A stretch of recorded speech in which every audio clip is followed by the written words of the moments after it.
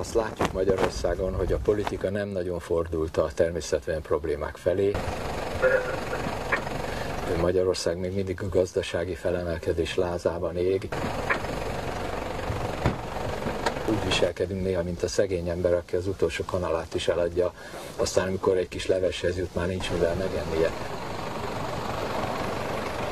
Én nagyon nagy megtiszteltetésnek érzem, hogy a közösségi elnök úr idejön.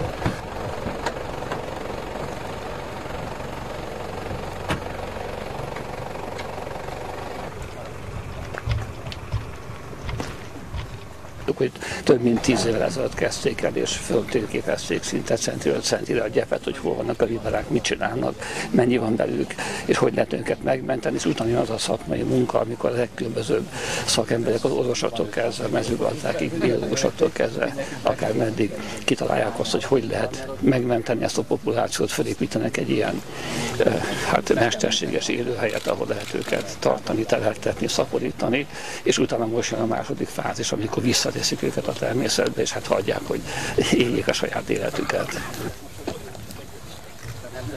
terület, igen, állami terület és nemzeti parti kezelésben van.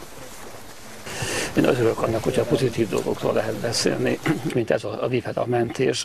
Ez nem csak a viperáról magáról szól, tehát nem csak arról, hogy egy, egy kipusztuló félben lévő állatot megmentünk, és, és hát akkor fönn fog maradni, hanem arról is, hogy egy ilyen akcióval az egész tájhoz